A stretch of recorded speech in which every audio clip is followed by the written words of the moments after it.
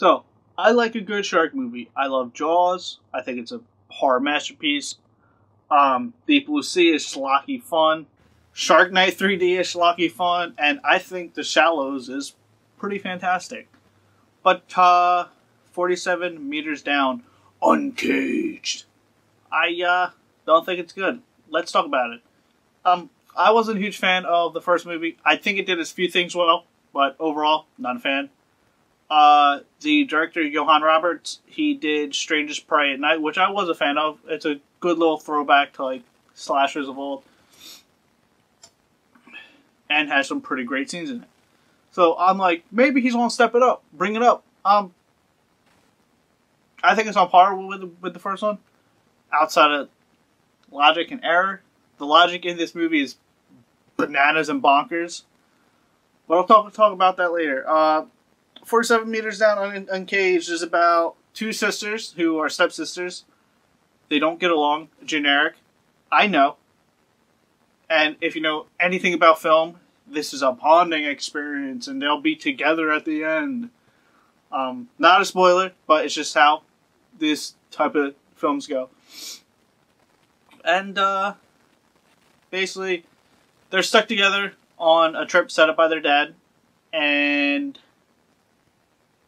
instead, the one sister's like, "Why don't we check out this place with my friends and let's see what's so cool about it?" So they go, and the one friend's like, "There's underground ruins here." And there's story details to why she knows there's ruins and why they have the scuba gear there. It's not just all ran- randomly placed bullcrap. So they go into the ruins, blah blah blah. You know, stuff happens. Um, they get trapped down there, and there's two sharks. Simple enough plot. They have to survive, get out, stuff like that. But here's the kicker: the sharks are blind.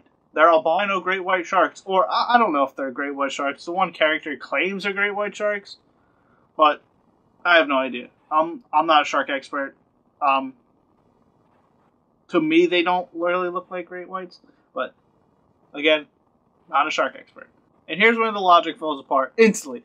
The moment the characters dive, the logic falls apart because these characters don't have radios. They don't have waterproof mics, nothing like that. And underwater, they can talk to each other perfectly fine with the scuba gear on, or the diving gear. I guess scuba gear, same thing.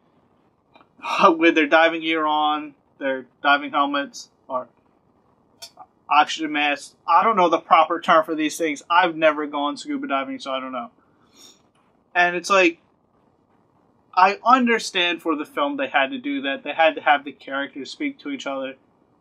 But it's like, that's not how sound travels. That's not how sound works underwater and the film has continuous weird things like that that kind of draw you out of the experience. But before I rip into this movie, as more than I already have, let's talk about some good things. The production team deserves mad respect for building all these sets that totally work. I believe they fully filmed it freaking underwater. I didn't look up how they filmed it because I'm not a big fan. I probably will now because now I'm just curious to know how they made it all happen. But real big kudos to the production team that made it happen to build all the sets to just make it all work. The sets look great. That's the best thing i could say for it. all the acting is serviceable. None of it's like outright terrible but none of it's like outright good either. It's all serviceable. Yeah let's get into the bad um the sharks are blind which i don't if they were stuck in those caverns, I don't.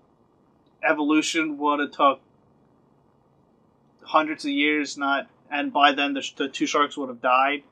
So I don't really understand that aspect.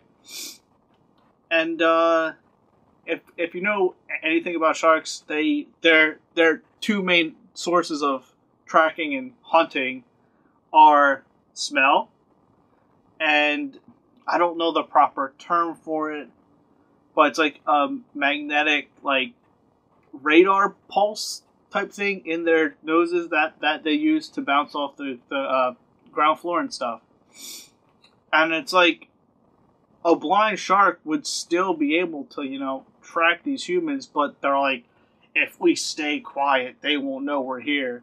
And even like the one character's like, if they're blind, then their senses are enhanced. But yet the characters like openly talk and make a ton, ton of noise, and like the sharks still don't really give a crap about them. And it's like you guys can't say they have enhanced senses and then just in the next scene just completely disregard it. It's like they go back and forth on that logic. The CGI is really rough. It's not good. And that leads to the biggest gripe I have with it is when you have a shark, which is a major threat to us humans, because look, unless you're uh, Michael Phelps, you ain't escaping no shark. You're you, you're dead meat right there. Another great YouTube channel, but you're dead meat right there. There's nothing you can do to basically escape a shark attack, especially in the circumstances in which these characters are in. You're in these small areas, you're underwater, you're done. And the CGI being so rough makes it a little bit hard to take it seriously because the sharks in Mo- there's one specific scene where the shark looks phenomenal, and I feel like they wasted their all their money on this one singular shot. It's hard to take such a threat seriously. Like, imagine if like Thanos in Avengers, or like Godzilla, or the shark in the shallows looked terrible. You wouldn't take him seriously. You'd be laughing at it. And I kind of got a small chuckle out of a lot of the shark scenes, even though they're they're like they're they're supposed to be tension ten, ten, tension tension filled, because there's just your brain instantly says that's a fake shark. Don't have to worry.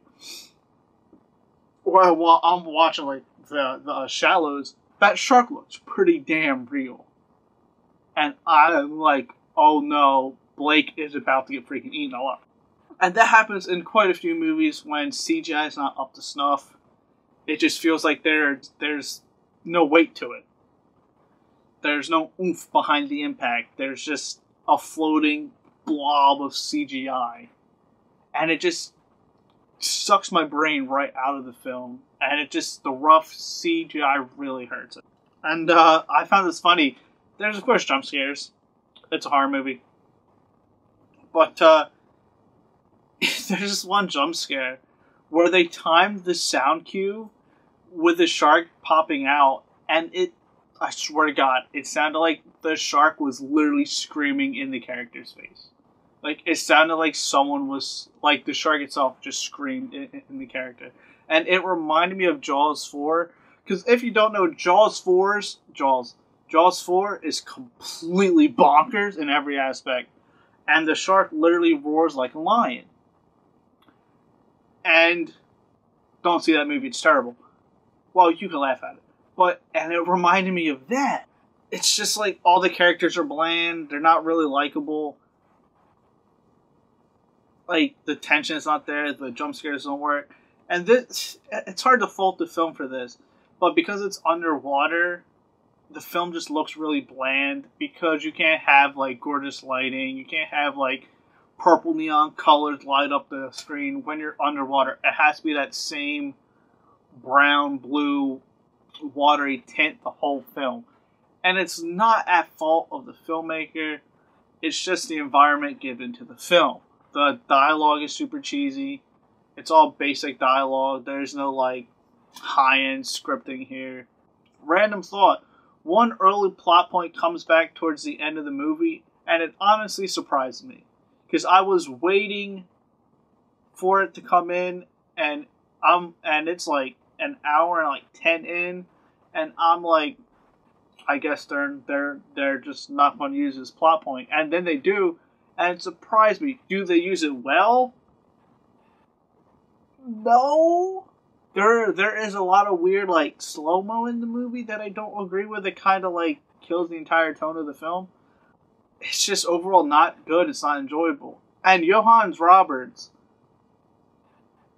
I think he has talent because in Strangers 2 or Prey at Night, you can see he has a good eye. You can see he knows how to direct people, and you can see he knows how to work with what he's given.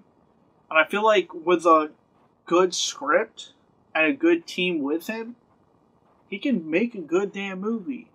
And I know he's doing the Resident Evil film reboot, which please be a horror movie like the games.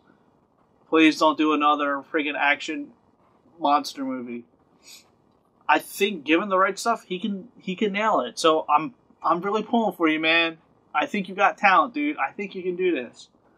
But yeah, 40 centimeters down, uncaged. Don't like it. I'll watch Jaws and The Shallows a billion times this before I sit through this again. So, if you liked it, tell me what you thought about it. If you sat through this huge rambleathon of this shark movie, and we don't get enough animal movies like this and Crawl. I'm all for good killer animal movies. Like Crawl is awesome. Crawl kicks booty. Crawl is some top notch, top notch tension, drama filled awesomeness. But uh, yeah, feel free to like, comment, subscribe, and thanks for watching.